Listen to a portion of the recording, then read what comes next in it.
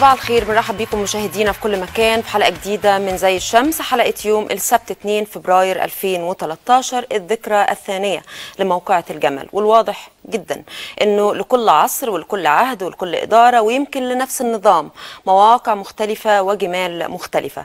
الحقيقة إنه صباحنا شبهنا وشبه بلدنا مرتبك وغاضب وحزين بأسباب كتير. إمبارح كان يوم عاصف لأسباب مختلفة كانت هناك أمطار وكانت هناك رياح وكان هناك جو وبرد قارس. وعلى الرغم من كل هذه الظروف المناخية إلا إنه ده لم يمنع جموع المصريين من الخروج في مظاهرات ومسيرات سلمية ونؤكد على سلميتها. خرجوا لميدان التحرير وخرجوا للاتحادية وخرجوا لميادين كل المحافظات وشكلت مباريات مختلفة احتفاء بحظر التجول ما بين القله المندسة والطرف الثالث. الأمور كلها بتسير بسلمية.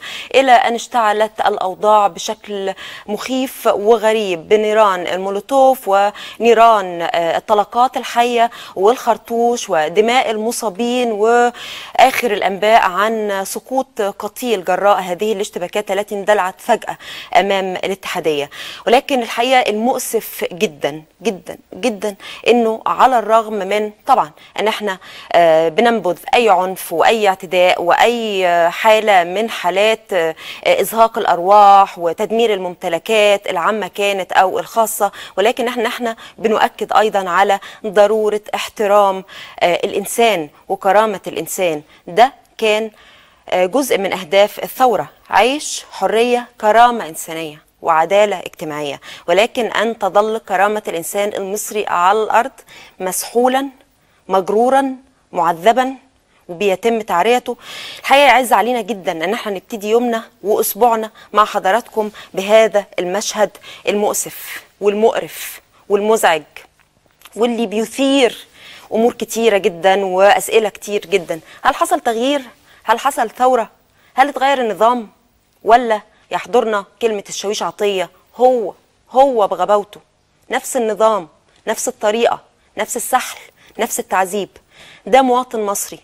كان موجود مع مراته وولاده أمام الاتحادية. بيشتغل مبيض محاره مواطن مصري بسيط خارج مع عيلته اشتعلت الأوضاع. ولكن الواضح إنه كان في مهرجان الضرب للجميع والسحل للجميع. نابوا من السحل ما نابوا لم يكتفوا بسحله وبضربه ولكن تمت تعريته من كل شيء. في ظل البرد في ظل الأمطار وفي ظل كل الظروف تمت تعريته وسحله وتعذيبه وضربه. ده المشهد اللي بثته كتير من وكالات الأنباء امبارح وكتير من الفضائيات وآثار إزعاج وانزعاج كثيرين جدا. فيما بعد سمعنا اعتذار من الداخلية وفتح تحقيق مع اللي قاموا بهذه الجريمة وإنه المواطن الآن هو موجود في إحدى مستشفيات الشرطة بيتلقى العلاج وزوجته بالفعل اتكلمت مع واحدة من الفضائيات امبارح واتكلمت إنه بيتم علاجه وفي اهتمام كبير حتى جانب السيد مساعد وزير الداخلية. مراسل ON TV وزي ما نقل موقع جريدة الشروق بيؤكد إنه كان بيحصل نوع من أنواع التلقين لهذه الزوجة. المصابة في زوجها في راجلها اللي تم تعريته وتم سحله وتم تعذيبه. ومش عارفين هل لو لم يتم إذاعة هذا المشهد عبر كل وسائل الإعلام هل كان هيكون نفس رد الفعل ولا هيكون في نوع من الإلهاء والترمخة والنسيان والنكران لكل مكان؟ وهل زي ما بيقول دكتور عمرو حمزاوي هنسمع بعد شوية أنه هذا المواطن هو عضو في جماعة الأخوان المسلمين وأنه لا ينتمي للمعارضة؟ وإنه ليس له أي مطالب أو اعتراضات أو أي شيء وإنه خرج علشان يؤيد سيادة الرئيس والجماعة والحزب هل هيكون رد الفعل هو نفسه؟ هل هذا الأمر هو كاشف؟ هل شايفين إن هذه التعرية ما عرتش بس هذا المواطن المصري المحترم اللي كرامته على رأسنا كلنا كل مصري وكل مصرية ولكن مش شايفين إنه ده كشف حاجات كتير؟ ما كشفش مثلا إنه ده حصل بعد ما سكتنا على تعرية بناتنا وعلى تعرية ستاتنا وسيدات مصر اللي كرامتهم فوق راسنا من فوق اللي حصل في ميدان التحرير لمدد متتالية ومختلفة حصل من شهرين وحصل من شهر وحصل منذ أسبوع وكان للأسف الشديد بعض الصفحات المؤيدة للسيد الرئيس والنهاردة جريدة الحرية والعدالة يعني وكأنها تعاير الثوار في الميدان ومن يخرجون في تظاهرات بأن هو ده حال ثورتكم وهو ده حال مظاهراتكم وهو ده حال اعتصاماتكم تحرشات وتعرية وما إلى ذلك. الواضح والأكيد من خلال شهادات بنات محترمات كرامتهم على رأسنا كلنا كل راجل وكل ست وكل طفل وكل مسؤول وعلى راس رئيس الجمهورية إن هم بيؤكدوا إنه المجموعات هي مجموعات مدربة ممنهجة بتبقى عارفة الناشطات السياسيات. مش أي بنت كانت بتتعرض للتحرش ولا للتعرية ولا للاغتصاب.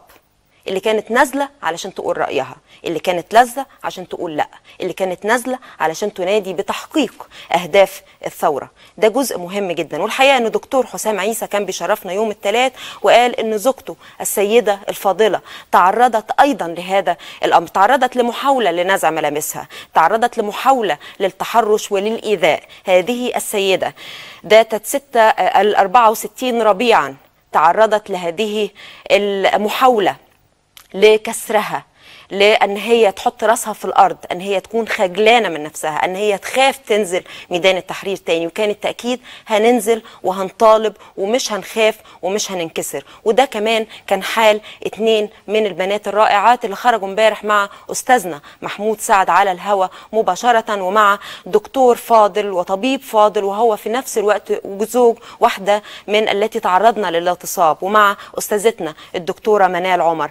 كشفوا كتير جدا كشفوا كتير جدا أمور كتيرة. ولكن تشاء الظروف إن إحنا نشوف النهارده تعرية مش بس لبنات مصر ومش بس لسيدات مصر ولكنه توجه حتى لرجال مصر. للأسف الشديد سكتنا كتير وده الثمن ولكن رب ضارة نافعة. أحيانا بتيجي الأمور الكاشفة المؤلمة المفزعة المخيبة للأمال علشان تهزنا عشان ترجنا علشان نفهم وعلشان نعرف وعلشان نكتشف كتير من الأمور.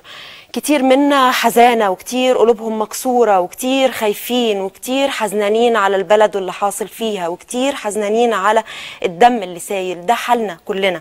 ولكن بفتكر كلام عمنا صلاح جاهين. حاسب من الأحزان وحاسب لها.